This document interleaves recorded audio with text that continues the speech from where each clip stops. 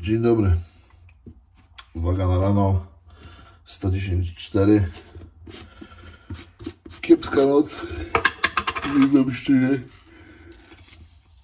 Dzisiaj pospałem dłużej troszkę. W ogóle ostatnio ta rutyna moja wstawania o 4.45 jest mocno zaburzona. Ale co chwilę coś. Dzisiaj znowu kiepsko spałem w nocy, więc prawie całą noc nie przespałem.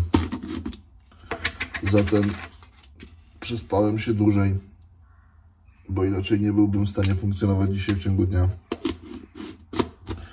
Także trzeba było to jakoś skompensować. Yy, Dzisiaj mamy dzień wysoki, dzień klatki. Nie robię dzisiaj cardio, bo ta noga daje mi się wyznaki jeszcze mocno. Nie chcę tego yy, zaognić. Chcę to jak najszybciej wyleczyć. Zwłaszcza, że jutro mamy plany. Zobaczycie jutro o co chodzi. A co za tym idzie? No, pasuje być na chodzie. Dlatego zrobię cardio w dzień nóg w sobotę. Zazwyczaj mam 6 razy 20 minut w tygodniu, więc zazwyczaj wypada tak, że w sobotę sorry, w sobotę w dzień nóg właśnie nie robię tego cardio, ale jak się nie ma co się lubi, to się lubi co się ma, więc zrobię to cardio zamiast dziś, to zrobię je w sobotę. Yy, no i co, dzisiaj tak jak mówiłem, dzień jest wysoki, więc zaraz trzeba siadać i pałaszować jedzonko. Dzisiaj trochę wcześniej idę na siłownię, bo Sylwii nie ma, jest w robocie, w pracy i tak jej wypadło, że no niestety nie da dzisiaj rady zrobić treningu ze mną. Eee, dlatego zrobię sobie wcześniej, bo ja generalnie wolę trenować wcześniej, ale w związku z tym, że Sylwia pracuje do godzin późniejszych, no to zawsze czekam na nią i robimy trening razem wieczorem. Eee, ale wiadomo, jeżeli mam opcję zrobić wcześniej trening, no to wybieram opcję robienia wcześniej treningu. Ja lubię robić trening po przynajmniej dwóch posiłkach, eee, ewentualnie trzech. Yy, bo po czterech posiłkach to już zazwyczaj jestem dość pełny i tak to trenowanie jest ciężkie, Yy, więc tak mi zazwyczaj wypada. Yy, No i co? Chyba tyle, nie ma co być piany. Zbieramy się za, zabieramy się za szejka i później zabieramy się za śniadanie. Dzień dobry, znowu witam Was w śniadaniu. Mamy tutaj cztery tosty pełnoziarniste. Yy, Pełnoziarniste, bo dojadam chleb Sylwii. Ona nie może pszennego, bo tam jest mm, soja, mąka sojowa, ona jest uczulona na soję, więc, więc je pełnoziarnisty. Ja z powodu tego i tej ilości błonnika z pełnoziarnistego ostatnio zrezygnowałem. Natomiast tak jak mówię, no trzeba to dojeść, bo Adam przyciął Sylwii kalorie. Sylwia na redukcji i nie ma tyle kalorii, żeby zjeść sobie chlebka. Zatem no, musi sobie y, radzić inaczej, a chleb leży, więc ja go zjadam. Taki jest plan, żeby go dojeść.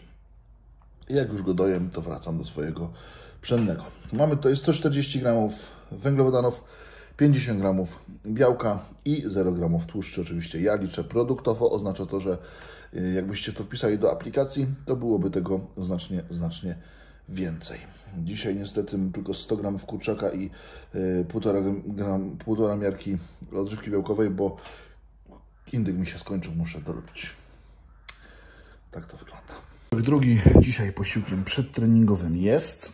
Zatem mamy tutaj 140 gramów, e, nie, przepraszam, 160 gramów węglowodanów, 50 gramów białka, 10 gramów tłuszczy i to przed treningiem około 1,5 godzinki. W trakcie treningu wrzucam 30 gramów EAA, czyli 30 gramów białka i 60 gramów dekstrozy, czyli 60 gramów węglowodanów, a po treningu zobaczycie, mam podobny zestaw.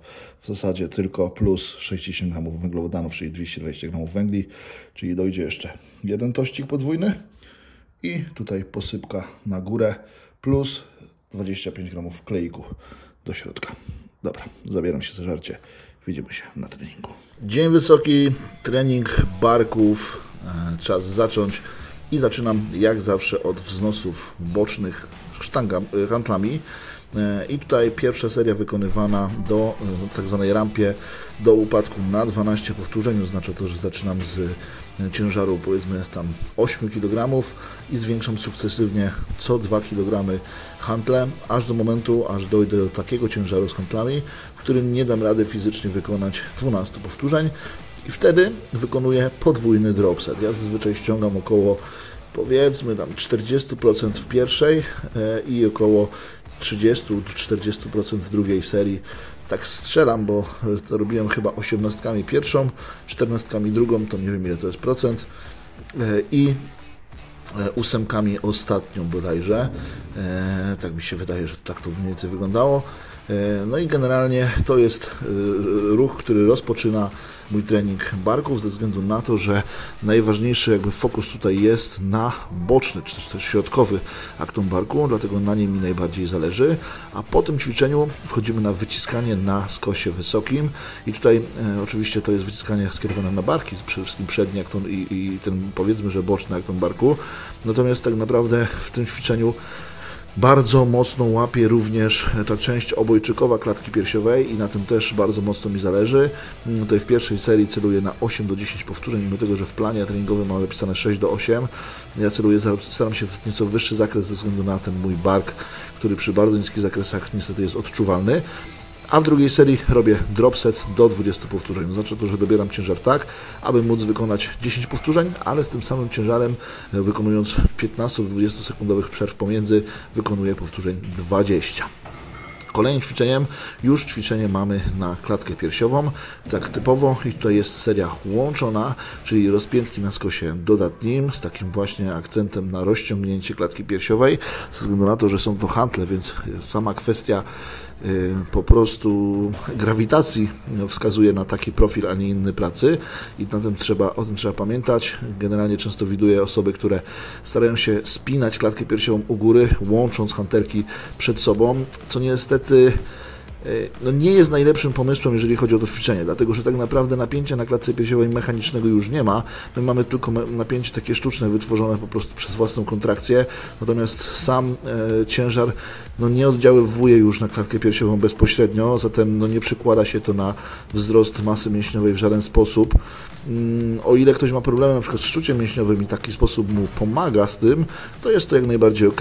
Natomiast jeżeli nie musimy tego robić, to zdecydowanie lepszym rozwiązaniem byłoby tego akurat w tym ćwiczeniu nie robić. Jak widzicie, od razu po tym przechodzę na dipsy na maszynie i tutaj wychylam się w taki sposób, aby bardzo mocno zaangażować dolną część klatki piersiowej i w tym ćwiczeniu ja mam w ogóle wrażenie, że to ta maszyna została zbudowana dla mnie, dlatego że nie na żadnym ćwiczeniu, nawet izolowanym, nie czuję tak dobrze klatki piersiowej jak na tych dipsach.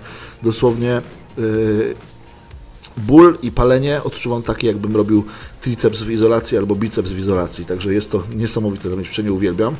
No i następnie mój ukochany Randerak. Kto siedzi dłużej na kanale, to wie, że teraz z Wami chwilę pogadam, bo Randerak to ćwiczenie zaczerpnięte, już wiele razy powtarzałem, od Kolemana e, i polega na tym, że korzystamy z bardzo dużego wachlarza obciążeń, dlatego że zaczynamy od najmniejszego obciążenia, jakie znajdziemy na siłowni e, i e, dochodzimy w ośmiopowtórzeniowych seriach do takiego obciążenia, z którym nie damy rady zrobić 8 powtórzeń, a następnie wykonujemy cofkę, czyli wracamy do tego ciężaru od największego do najmniejszego. Zatem sama seria trwa pewnie z 3-4 minuty. Generuje to ogromne napięcie napięcie, może nie mechaniczne, natomiast napięcie, y, napięcie znowu powiedziałem, natomiast generuje to ogromną pompę mięśniową, czyli ogromny stres metaboliczny i naprawdę no już przy przy tym momencie, w którym ja jestem, już pompa zaczyna być praktycznie nie do zniesienia, zwłaszcza w momencie, w którym ja teraz jestem na IGF-ie, na INSie, na hormonie yy, i jest tego sporo. Mam jeszcze dzień wysoki, więc rano wchodzi Lantus. Yy, prawie 1000 gramów węglowodanów dzisiaj. Jeszcze przed treningiem zażyłem pomper, pomper czyli cytrulinę z argininą. No i generalnie myślałem tutaj, że umrę. Już no, pod koniec miałem wrażenie, że po prostu wlewa mi się yy, ogień do, do barków i generalnie takiego efektu właśnie pożądamy w tego typu w formach intensyfikacji. Pamiętajmy, że są formy intensyfikacji takie jak na przykład respawn, które mają wygenerować jeszcze większe napięcie mechaniczne stricte, czyli pozwolić nam na to, żebyśmy mm, jakby zwiększyli jeszcze mocniej udział tych wysokoprogowych jednostek motorycznych na dużych obciążeniach, a są ćwiczenia takie jak na przykład Randerak, które opierają się głównie na tej pompie mięśniowej. I tutaj się można sprzeczać, czy pompa mięśniowa bezpośrednio przekłada się na hipertrofię, czy nie. Ja uważam, że y, zajazd to jest zajazd i o ile wychodzimy z uśmiechem na twarzy z treningu i czujemy, że faktycznie przepracowaliśmy dany mięsień, to możemy być spokojni o, o swoje wzrosty i tam niezależnie od tego, co sugerują badania naukowe, yy, Myślę, że tutaj yy, efekty wielu, wielu kulturystów na przestrzeni lat pokazują, że że jednak no, jest to metoda, która się sprawdza i sprawdza się bardzo dobrze, bo nawet osoby takie jak Charles Glass, czyli najlepsi trenerzy, można powiedzieć, kulturystyki na świecie, wykorzystują mnóstwo tego typu form intensyfikacji i, i tego typu zabaw, więc jeżeli by to się nie sprawdzało, to myślę, że po 40 latach czy więcej uprawiania kulturystyki już dawno by na to wpadli. Kolejnym ćwiczeniem jest triceps. Ja normalnie to ćwiczenie, jak pamiętacie, wykonuję na wyciągu e, dolnym, czyli wykonuję e, jakby wyprosty z linką wyciągu dolnego z zagłowy, jednorącz. Natomiast dzisiaj na siłowni był jakiś Armagedon. Ja nie wiem, czy to jest kwestia tego, że dzisiaj jest ostatni dzień bez szkoły i jutro wszystkie gówniaki wracają, bez obrazy, do, do szkoły, e, ale no dzisiaj było zatrzęsienie, także generalnie do wszystkich newralgicznych punktów, czyli ławka i wszelkiego rodzaju wyciskania, bo dosłownie wszystkie wyciskania były zajęte, czy rozpiętki na bramie, zapomnij. To nie było szans się nawet dostać, więc nawet nie próbowałem tutaj czekać, czy pytać się, ile mają, bo jak widziałem sznur młodych chłopaków, którzy już czekają na to, żeby spompować e, łapę, no to odpuściłem temat. I po prostu zdecydowałem, że ostatnio tutaj z Pawłem robiliśmy na handli. E, bardzo dobrze czułem triceps, więc e, czemu nie? Stwierdziłem, że po prostu wejdę sobie na, na handle i zrobię sobie porządną rozgrzewkę, bo w zasadzie to ćwiczenie traktuję jako rozgrzewkę, bo tutaj robię trzy serie po 15 do 20 powtórzeń, a zazwyczaj wychodzi mi trochę ich więcej, 20-25 powtórzeń na ramię. Skupiam się mocno na rozciągnięciu tutaj tricepsu e, i jest to takie ćwiczenie, które ma przygotować mi e, aparat, można powiedzieć, ruchu, czyli łokcie przede wszystkim e, i tricepsy do ćwiczenia następnego, którym powinien być pin press, czyli takie wyciskanie z, z pauzą w dole, czyli odkładanie, można powiedzieć, że wyciskanie sztangą, odkładając za każdym razem sztangę na raki. Natomiast, no jak mówiłem, dopchać się do sztangi dzisiaj to była niemożliwość czy też jeżeli ktoś oglądał Jak poznałem Waszą matkę i pamięta słowotwórstwo Barneya Stinsona, to można powiedzieć, że była to możliwość. E, no więc stwierdziłem, że po prostu yy, szkoda marnować czasu, bo i tak trening zajmuje mi bardzo długo, a jak mam czekać 40 minut na ławeczkę, to stwierdziłem, że dzisiaj zrobię sobie po prostu wyciskanie wąskie na maszynie e, w takim samym patencie, czyli łokcie lecą blisko ciała. Skupiam się bardzo mocno na fazie ekscentrycznej, skupiam się bardzo mocno na tym, żeby cały czas triceps był w napięciu, no i generalnie staram się na, skupiać na tym, żeby przepracować faktycznie triceps, a nie przepracowywać wszystko, tylko nie triceps, czyli przede wszystkim klatkę i barki. Muszę przyznać, że to ćwiczenie nie jest najlepszym ćwiczeniem dla mnie i robiłem je prawdopodobnie ostatni raz, dlatego że tutaj bardzo mocno czuję bark. I podejrzewam, że to jest spowodowane tym, że tak naprawdę mój problem z barkiem nie wynika e, z problemu z barkiem, tylko wynika niestety z problemu z mięśniem dwugłowym ramienia, a dokładnie z zapaleniem przyczepu mięśnia dwugłowego ramienia. E, no i tutaj generalnie warto by było pewnie to zaadresować, natomiast problem polega na tym, że dostanie się u mnie do takiego fizjoterapeuty, którego chciałbym, wymaga czasu, więc e, czekam. No i tak, na koniec wykonuję wznosy w przód, jak widzicie talerzem. Zasada taka sama jak zawsze u mnie, czyli w pierwszej serii robię 30 na respaus, czyli staram się dobrać ciężar tak, żeby zrobić 20 samodzielnie i następnie 20 poprze- znaczy następnie te 10 dobić jakimkolwiek spo- sposób po przerwie małej. Następnie redukuję ciężar o 50%, czyli z 20 ściągam na dychę i wykonuję respaus tym razem na 20 powtórzeń, czyli staram się zrobić 10 powtórzeń samodzielnie, że tak powiem bez przerwy, samodzielnie, wszystko robię samodzielnie, bez przerwy, a następnie niezależnie ile przerw mi to zajmie, dobić te 20 do końca.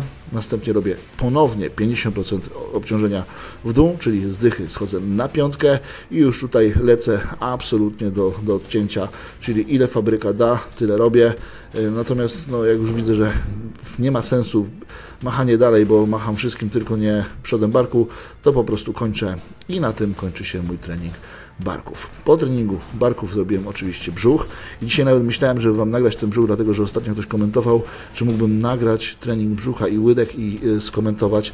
Natomiast dzisiaj, y, jak jeszcze jak wczoraj, moje samopoczucie nie było najlepsze, więc chciałem jak najszybciej po prostu skończyć ten trening na zasadzie takiej, żeby zrobić ten brzuch y, i lecieć do domu, zjeść, odpocząć. Musiałem jeszcze zrobić kroki, więc generalnie chciałem naprawdę jakoś się tak zwinąć, więc dzisiaj nie nagrałem, ale obiecuję naprawdę, że następnym razem lub następnym, następnym, w zależności od tego, jak to będzie wyglądać, nagram Wam i łydki, i brzuch i troszeczkę o tym opowiem, dlatego, że faktycznie no, wygląda to tak, jakbym tych łydek i brzucha nie robił, a jest to, mm, muszę powiedzieć, przyznać szczerze, że pierwsza masa, w której naprawdę sumiennie się przykładam do brzucha i robię go absolutnie za każdym razem, absolutnie od początku do końca, nie pomijając nawet pół powtórzenia.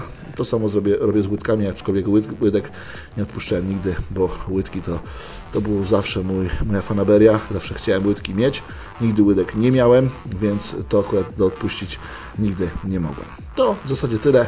Widzimy się w posiłku potreningowym. Do zobaczenia.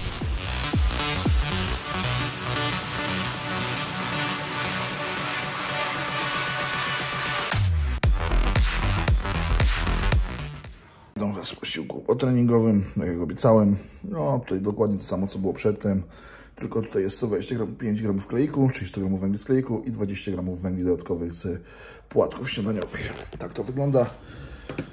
A po treningu już ledwo żyję, jutro dzień wolny, a więc jeszcze dzisiaj muszę tylko zrobić 3000 kroków i popracować. Także zabieram się za robotę, zabieram się za jedzenie i w zasadzie widzimy się pewnie na ostatnim posiłku, bo generalnie dzisiaj muszę skończyć wcześniej tego vloga, żeby go zgrać, bo jutro mnie pewnie nie będzie i pewnie nie zdążę.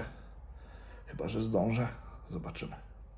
Jedząc sobie posiłek przedtrening, potreningowy, przedtreningowy. Oglądam sobie sama sułka i jego najnowszy dzień jedzenia. Powiem wam szczerze, że ja się zastanawiam, czemu on dalej tak je. Ja rozumiem, że jest młody i że wiele mu jeszcze organizm wybacza, ale przecież mógłby robić dużo lepsze efekty. Więc nie wiem po co. Zwłaszcza, że no, naturalem nie jest, więc generalnie już i tak sobie robi krzywdę pod względem zdrowia, więc chociaż to żarcie mógłby jakoś trochę ogarnąć. Mówię to jedząc przedny chleb. ale, no ale kurde, gość uzupełnia białko głównie z mleka, więc jest to tragiczne. Lubię strasznie go, bo jest naprawdę mega gościu. Ma mega podejście treningowe i lubię po prostu zapierdala ale z tą Michą to masakra. Swoją drogą jest nie mega genetykiem, bo jak ja bym miał codziennie fast foody i wypijał hektolitry mleka, to byłbym ulaną kluchą w dwa dni, więc szacuneczek. Dobra, wyszedłem teraz między posiłkiem, e, którym? Trzecim a czwartym, żeby się przejść, dobić troszkę kroków. Zostało mi te 2600, to dobiję je sobie przy okazji trochę przytrawię posiłek potreningowy i ten kolejny. No a generalnie jeżeli chodzi o, o to co u mnie, to ostatnio trochę y, ta rutyna mi się rozwaliła przez kilka takich rzeczy, które były nie, nie do końca kontrolowane. Y, ale to może nawet lepiej, bo nie wstaję ostatnio o 4.45, troszkę dłużej śpię. Na tym etapie już okresu masowego, gdzie już czuję powoli zmęczenie to nawet jest benefitowe. E, natomiast od kilku dni tak w klatkę się trochę mobilizuje i to mnie tylko martwi, bo żeby nie było, że nie zawsze wszystko jest perfekcyjne, to czasami takie rzeczy wpadają, że no nie uda się zmobilizować rano czy coś takiego Ale nie będę ukrywał, że robię to po treningu. Bo moje treningi zajmują mi zazwyczaj około dwóch godzin. Później jeszcze muszę kroki zrobić zazwyczaj, więc nie chcę robić takich ogromnych przerw między tymi e, e, między posiłkami też, dlatego, że mam intra workout. No ale to też chodzi o to, że wracam o tej 19, jem posiłek i zaraz muszę zjeść kolejny, to też tak na noc chce się najadać. No i tak to wygląda. No ale cóż, generalnie to tak naprawdę niewiele się zmienia jak u mnie, jak widzicie. Jedyne co się zmieniło od samego początku, odkąd tutaj jesteśmy wszyscy razem, to waga. Co mam nadzieję, że po twarzy nie widać, ale po ciele widać. E, no i oczywiście ilość jedzenia. Tego jedzenia już naprawdę sporo. Ja generalnie problemów z jedzeniem nie mam. Natomiast wiadomo, nikt problemów z jedzeniem nie ma jak wychodzi do produkcji, ale jak już jest któryś tydzień z kolei na dużej ilości żarcia, no to te problemy mogą się zacząć. No i wtedy tak naprawdę zwycięża ten, co, co się trzyma, co ja ma do tego, żeby żreć. Bo kulturystyka to jest taki trochę śmieszny sport, że raz się głodzimy, raz się przejadamy i nie wiadomo, ludzie się sprzeczają, co jest cięższe. czy głodowanie, czy wpychanie w siebie na siłę. Także tak to wygląda, ale ja na razie apetyt mam. Nie ukrywam, że jak idę, to teraz ledwo mówię, bo jest mi ciężko po tym posiłku, ale przejdę się troszkę, to będzie dobrze. Kupiłem sobie sos boloński. Widziałem wczoraj w filmie Damiana e, Kufla, że boloński sos ma tylko 50 kalorii w 100 gramach, więc dodam sobie z 50 gramów do ryżu. To nie będzie suchy. Także nice. Zamiast ketchupu oczywiście. Więc myślę, że to będzie jakieś urozmaicenie dla mnie. Ale generalnie wiele w nie zmieniam. Jak widzieliście, wczoraj wrzuciłem makaron i chyba ten makaron ze mną zostanie na, na ten moment, bo makaron to jest przedziwne zjawisko. Nie wiem, czy też tak macie, ale makaron nie ma takiej ilości, której ja bym nie mógł zjeść makaronu. Ryżu jakaś ilość jest. Powiedzmy powyżej tych 200-250 gramów ryżu już naprawdę czuć na żołądku. Przy makaronie można zjeść kurwa pół kilo. Zwłaszcza jak ma dobry sosik, jak ma dobre mięsko, zwłaszcza jakieś takie, wiecie, mielone, to wchodzi jak woda. Więc to jest patent dla wszystkich niejadków. Makaron. Jak tylko Wam się dobrze trawi, to korzystajcie, bo to robi naprawdę dobrą robotę. No i co? Odpada mi znowu ręka. Bo jak widzicie, jesteśmy już na granicy tych kilku minut trzymania jej, jej w górze, więc kończę i widzimy się w kolejnym posiłku. Już nie dogrywałem, ale zaraz po siłowni skoczyłem do Biedry i odgapiając, jak mówiłem już wcześniej od Damiana, kupiłem te sosy. Kupiłem makaron na wieczór oraz pinsy, ale to na dzień średni, bo pinsa w formie pizzy na noc pewnie będzie wjeżdżać. W ogóle to jest zajebisty produkt. Mega, mega kozacki, mega taka pizza y, jest lekka. No i generalnie ma dużo węgli, nic tłuszczy, więc bajka. Jem kolejny posiłek, zaraz Wam pokażę co to i jak to. Dobra, posiłek czwarty i taki sam będzie piąty. 125 gramów ryżu, 250 gramów indyka, 200 gramów cukinii, 50 gramów sosu y, bolońskiego, podliczki. To tyle na dzisiaj, słuchajcie. E, Zmontuję szybko ten odcinek, bo jutro zbieramy się z Sylwią i jedziemy. Gdzie? To Wam pokażę jutro. Ale w każdym razie nie będę miał prawdopodobnie czasu na to, żeby zmontować materiał, a chcę, żeby było codziennie, więc kończę dzisiaj wcześniej. Każdemu, kto dotarł do tego momentu, serdecznie dziękuję. Każdemu, kto jest od początku, serdecznie dziękuję. Dziękuję każdemu, kto wspiera mnie używając moich kodów, no i temu, kto wspiera mnie dodając komentarze i łapki w górę, czy też w dół, bo to też jest wsparcie, też niesie zasięgi. Także dzięki bardzo, widzimy się jutro 18.12. Wszystkiego dobrego, a ja zasiadam do jedzenia. Trzymajcie się. Na razie.